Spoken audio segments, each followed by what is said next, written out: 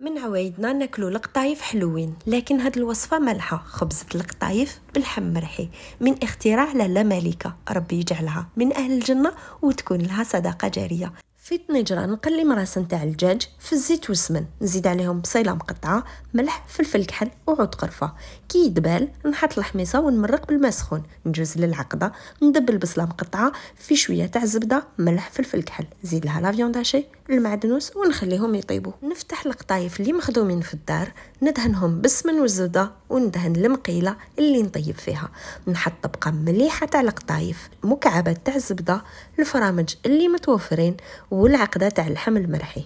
نغطي بالقطايف ونزير مليح. نطيبهم على نار متوسطة. نوقف عند راسها. كي تبدا تدور لي معناتها تحمرت. نقلب خبزتي ونكمل طيبها على الجهة الثانية نسقيها. كي نكون رايحة ناكلها. باش تجيني طرية وما تتعجنليش من اشهى الاطباق اللي تقدروا تحضروها. هما وشان. ما عندي ما نقول. معمر ويقطر بالبنه ننصحكم تجربوه وما تنساوش الدعاء لمولاتو ا سلام